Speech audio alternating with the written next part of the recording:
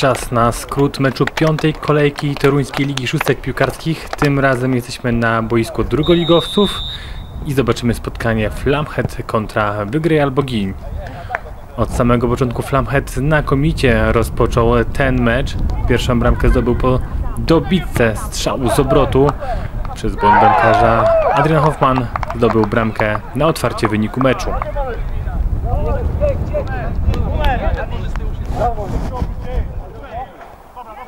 Dalszej części gry znakomicie stałe fragmenty wykorzystywali gracze Flamheadu. Najpierw rzutu wolnego bramkę strzelił w samo okienko Tomasz Tkaczuk i było 2 do 0.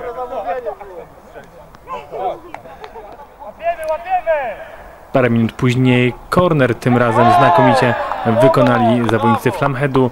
Dośrodkowanie wykorzystał ze strzału z pierwszego kontaktu ponownie Tomasz Tkaczuk i tym samym zawodnicy tej drużyny kończyli pierwszą połowę prowadzeniem 3 do 0.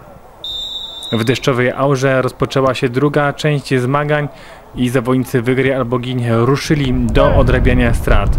Szybko zdobyli bramkę na 3 do 1. Po rzucie wolnym znakomicie obsłużony w polu karnym Tomasz Dulanowski i to on zmienił wynik na 3 do 1. W kolejnych akcjach dalej atakowali gracze Wygraj albo Gin, jednak kolejne strzały nie przyniosły zmiany wyniku, a zespół Flamhead miał jeszcze jedną znakomitą akcję, jednak po strzałach w słupek i poprzeczkę wynik nie uległ zmianie. Tym samym w tym spotkaniu Flamhead zwyciężył 3 do 1 i zapisał kolejne cenne 3 punkty w tabeli Posłuchajmy na koniec, co powiedzieli kapitanowie obu zespołów. Dobry początek w waszym wykonaniu tego spotkania i zwycięstwo 3-1. Chyba cenne trzy punkty w tym spotkaniu.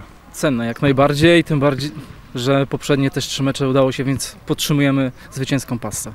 W takim razie udany początek sezonu i walka o awans do kolejnej ligi. Taki był, taki zamiar był od samego początku, więc podtrzymujemy to nadal. Mimo, że dzisiaj minęło to spotkanie, od początku rywale wysoko postawili poprzeczkę, próbował się gonić, ale zabrakło czasu, żeby doprowadzić do korzystnego wyniku. No zabrakło, szkoda pierwszej połowy, głupio stracone bramki, dwa razy stały fragment, gdzieś tam jedna przebitka, no w drugiej połowie staraliśmy się dogonić, ale zabrakło też nam skuteczności, plus warunki nie najłatwiejsze do gry, stąd niestety niewygodny przeciwnik dla nas, bo z Flamheadem zawsze gdzieś tam te mecze na styku zazwyczaj przegrane, szczególnie na boisku, stąd też, no niestety, może w rewanżu się uda. Jak ocenisz wasz początek sezonu? E, Pierwsze kolejki za wami, teraz strata punktów. Na co liczycie e, po zakończonym e, sezonie na otwartym boisku?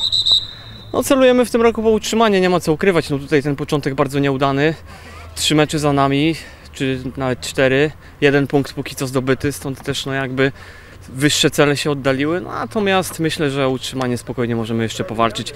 Mecze, które przegraliśmy poza, poza jednym były gdzieś tam na styku, także w rundzie rewanżowej wszystko jest otwarte.